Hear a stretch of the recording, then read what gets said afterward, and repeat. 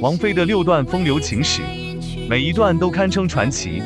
第一位黎明，两人因拍《袁振侠》彼此相识。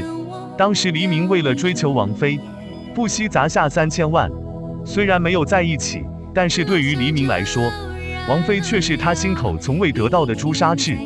第二位栾树，一九九零年是北京摇滚乐的黄金时代，在这一年，王菲认识了黑豹乐队的键盘手栾树，随后王菲也签下黑豹乐队，成为其中一员，却因王菲与好兄弟窦唯给自己戴了绿帽而分手。第三位窦唯，因着栾树的原因。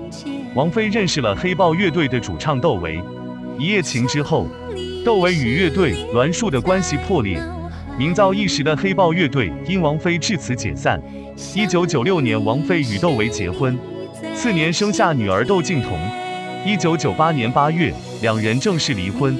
第四位谢霆锋，王菲初见谢霆锋时，那时的谢霆锋才七岁，直到二零零零年，两人经梅艳芳牵线走在一起。后来因为谢霆锋与张柏芝的绯闻不断传出，二零零二年五月封菲恋结束。第五位李亚鹏，二零零四年王菲西安演唱会同飞恋曝光，二零零五年王菲与李亚鹏结婚，次年女儿李嫣出生。在王菲面前自卑的李亚鹏，被传在外面找小三。